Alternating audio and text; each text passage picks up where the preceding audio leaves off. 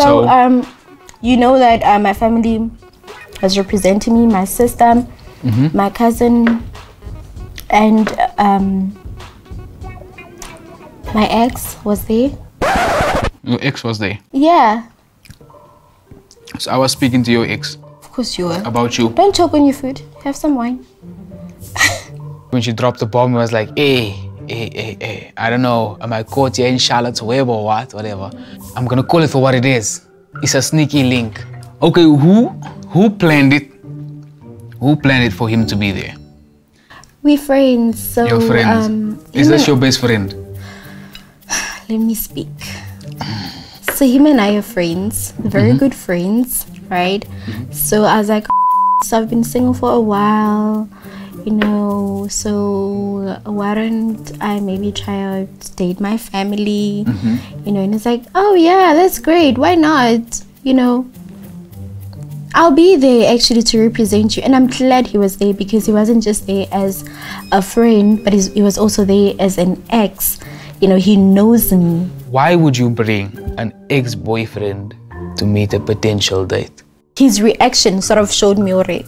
Actually, this is not the type of person I want to be with. So your best friend is also your ex-boyfriend. Mm-hmm. And also the dude who marketed you.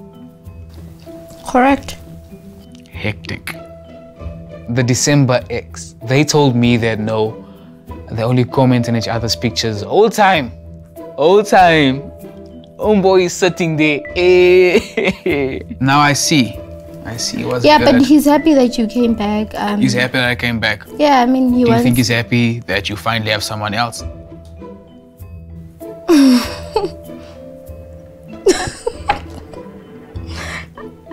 I don't know. Do you want some wine with that? Seems like you're choking. She has a sense of promiscuous energy. Boyfriend slash ex-boyfriend slash best friend said she has that thing. Are you okay with it?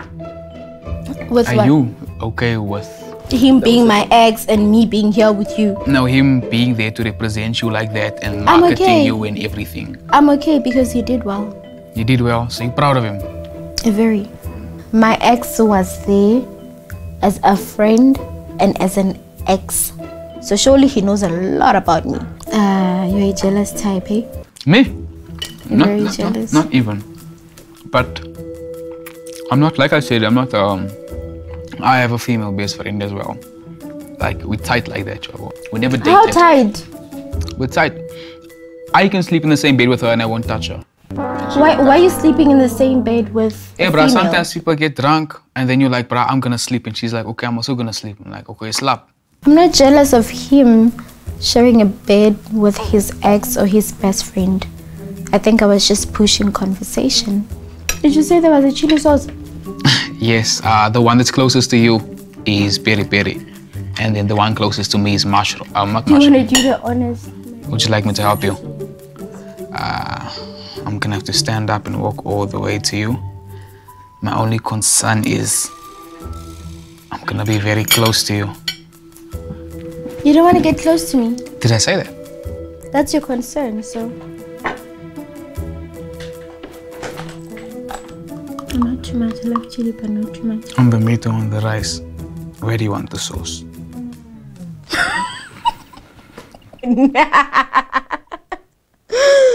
Yeah.